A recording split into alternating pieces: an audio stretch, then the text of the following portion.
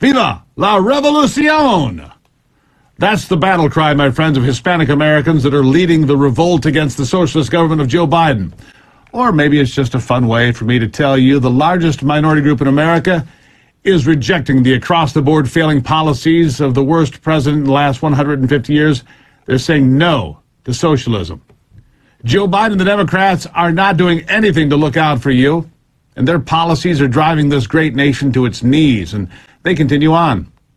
Because they care far more about power and their own personal wealth than they do about you or your family. It's obvious, and really there's no other way you could argue that. Look, it all began on the first day in the Oval Office when the decrepit and senile Joe Biden began doing the bidding of Barack Obama, Susan Rice, and the other puppeteers that are really calling the shots. And they are doing what they can to reduce America to just another nation. We're not exceptional. We're just a country. Nothing great here. And reduce the peasants, that's you, to serfdom. Which is making me rethink the entire student loan debacle, too, but we'll get to that next week because the U.S. government has put millions of young Americans on the hook for tens of billions of dollars in monthly payments, and they'll never pay off the debt. But again, I digress. We'll get back to that. Today, we're looking at a stock market that's plummeting, and gas prices inflation are skyrocketing. The cost to finance a new car has reached a new record high. Listen to this $660 a month, the average new car financing cost. And that's for six years, 72 months. Used cars, not much better. An average cost there of financing of $550 a month, six years. I mean, it's killing people. Consumer spending is now stalling too, and that is something that the markets are also not ready for, meaning they could fall a lot farther. So far, $3 trillion in retirement savings.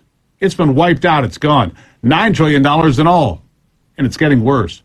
For those on fixed incomes, the inept and reckless policies of the socialist central planners in Biden's administration, well, it could mean poverty in the years to come. Despite working a lifetime and saving along the way, devastation is coming. Housing starts are falling, and farmers are also on the brink of collapse in some places because they can't afford the cost of diesel fuel or fertilizer. My friends, the storm isn't on the horizon anymore. The storm is here. And it took less than 18 months for Joe Biden's incompetence to swamp our great nation in debt and in despair. We have to get serious about stopping the damage Joe Biden is doing right now, and then we have to turn things around. First, First, we have to correct the worst energy policies ever put out, ever unleashed on this country.